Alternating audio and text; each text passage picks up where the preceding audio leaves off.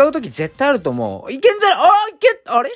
はいどうも。本日はですね、新しい裏技に挑戦していきます。どういう裏技かと言いますと、ヒルシャボで、あのシャボン玉にね、乗ってた敵をシャンクスのスキル1で追跡して、あの、シャボン玉にね、乗らずに上に上がるという、えぐい裏技でございます。まあ、どんだけ流行ってるかわかんないんですけど、これ自分の友達がこれできるらしいよっていうんで、ちょっとね、検証していきます。あここで、ここでやると上がるんですけど、全然上がれないですよね。もうね、めちゃくちゃやってるんですけど、全然うまくいかないんですよ。これは破棄状態中じゃなきゃダメなのか、そこら辺もよく分かってない状況でね、やっております。まあ、とりあえずね、聞いた話だなんで、全然わかんないんですけど、これシャボン玉乗って、ある程度のところでタゲを取るのかなまあ多分取ると思う。タゲを取って、あの、スキル1をやると、シャンクスが上に瞬間移動するよっていう。だからシャボン玉乗ってるキャラよりも早く上に到達できるっていう、あの、裏技らしいんですね。もし、破棄状態中じゃなきゃできないんだったら、これはシャンクスにしかできない裏技になりますし、破棄状態じゃなくて上に上がれるんだったら、レイリーとかでもできるのかなと思います。でなかなかそのタイミングがない。できれば破棄をつけた状態でまず試してみたい。はい、ここですあー、そういうことか。ダメだな。味方というか、これ平面に別の敵がいるとそっち飛んでっちゃうから、うわー難しいつか。実用性はある。いや、でもあるっちゃあるよね。うん、そういう時絶対、使う時絶対あると思う。いけんじゃない？あいけあれ？スカイウォーク？え、ちょっと待って、俺これめちゃくちゃ見たことあるんだけど、これ見たことある光景なんだけど、だよね、ダークライの話したよね、この前ね。えダークライの時と同じ現象じゃん、これ。もうスカイウォーク。えなんかすごいね、あの、新鮮な、あめちゃくちゃ楽しい。あ、全然進んでないけど、すごく楽しいです。はい、と、まあ何もできずタイムアップになりましたと。もうこれ多分どうしようもないと思うね。と、まあ気を取り直してね、まだ、まだチャレンジしております。まあさっき上には一応行けたんで、あとはタイミング次第かなと。もうちょっとシャボン玉が上に上がったところで、このスキルを押せば上に上がれる。ただこれ D リーグでもしさ、上に引っかかったら 最悪だよね。何もできず終わるよね。えぐいよね、これ。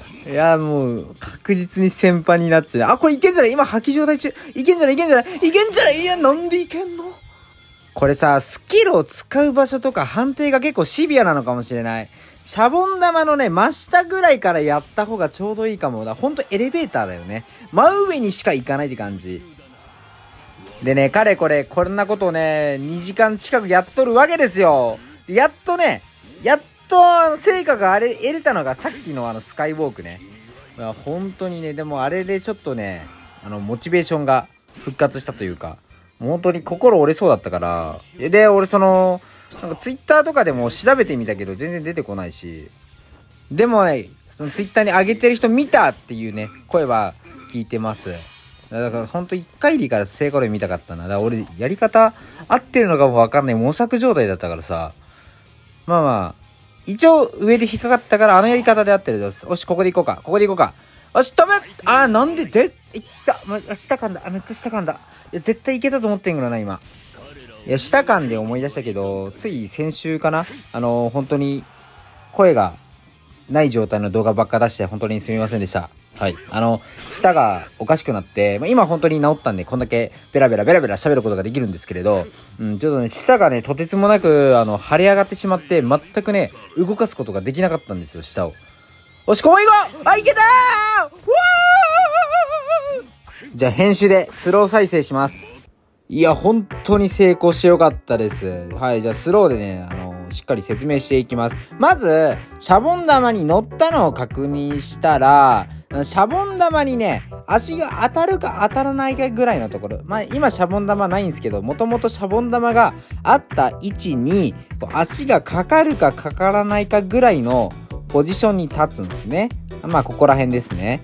はい。そして、この影あるじゃないですか、今、ウルージュの影。影が消えて、消えてちょっと、ちょっとしたあたりで押すと、このように瞬間移動で飛ぶことができますと。だから、シャボン玉乗ってるウルージュよりも早く着地しちゃうってことだね。もう絶対逃がさないっていうね。シャンクスしつけえな。まあね、あのーこのやり方ていうのかな、その、今成功したのだけを例に喋ってるので、もしかしたらシャボン玉の真下に立ってでも、これできるかもしれないし、ただ、スキル押すタイミングは自信ある。この影を目印にして、ウルージの影が、あの、消えた、まあ、上に行けば行くほど影ってこう、ちっちゃくなって最終的に消えるじゃないですか。その原理で、はい、今から影が上に上がっていって消えました。ちょっと経ってから押すと。ほんとちょっと、ほんとね、ほんと一泊、一泊入れるぐらいの感じで、スキルボタンを押すとこのように上に上がってくることができます。極めればね、めっちゃ実用的だと思います。というわけで、いきます目覚ましじゃんけん、じゃんけん。